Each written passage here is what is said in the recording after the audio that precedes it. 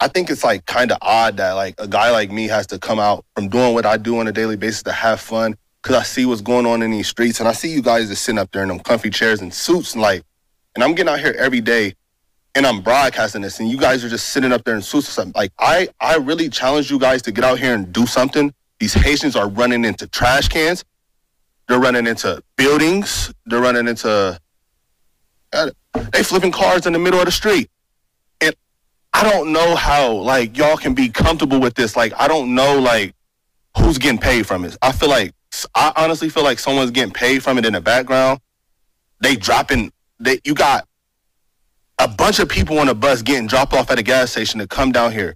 I know a single mom that FaceTime me tonight, FaceTime me this morning at the welfare office that really need like that really need something. And it's nothing but immigrants over there. And I don't even want to like seem like I'm coming down on the immigrants because it's the people that's bringing them down here. Because wherever they're at, that's what they're used to, bro. They're in the park grabbing up ducks by their neck and cutting their head off and walking off with them and, and eating them. Like, y'all get the Highway State Patrol down here every week, and then y'all get like a task force for the Highway State Patrol, and they look for guns and they look for dope and this and that and the fourth. That same people that y'all got riding up and down limestone doing U-turns, pulling people over for blinkers and pulling people over for like going left to center and like a couple miles over. Like y'all can take them same people, the Highway State Patrol, and you can take them in every single one of their silver chargers and Dodge Durangos, and y'all can take them to uh, Sunset. And y'all can park them right over there, and y'all can teach people how to drive. Since the Highway State Patrol knows so much how to know so much about traffic laws and know what to do in traffic, they need to. Y'all pay them they can go over there and teach these Haitians how to drive because it's, it's getting a bro. I'm getting thousands of views on on these, and it's going to get bigger and it's only going to get worse. And y'all sitting up there in these chairs, y'all all y'all need to get out here and do something. Y'all making hundreds of thousand dollars. Y'all need to put on a t-shirt and some Crocs, and then y'all need to come out here in these streets and y'all need to go out here and uh, I'm out here before the police is.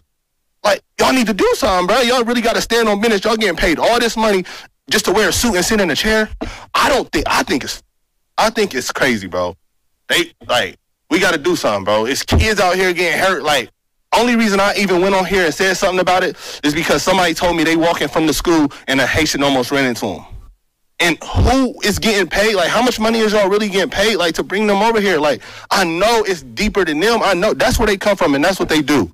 That's they country. I don't know what they got going on over there, but they can't do that over here. And if y'all just getting paid from it and then y'all ain't doing nothing about it, I think that's super weird, bro. Y'all gotta stand on business. Y'all gotta really like step up. Like it's it's lame, bro. Like for real. Thank you for your comments. Thank for you. Sure.